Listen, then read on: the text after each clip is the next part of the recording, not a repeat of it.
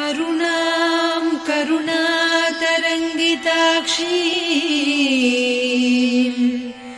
धृतपाशाङ्कुश पुष्पबाणचापा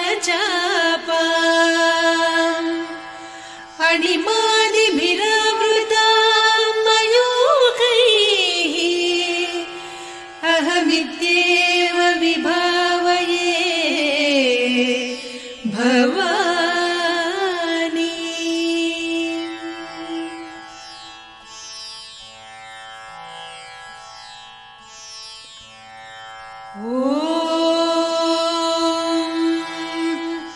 श्रीमाता श्रीमहाराज्ञी श्रीमत्सिंहासनेश्वरी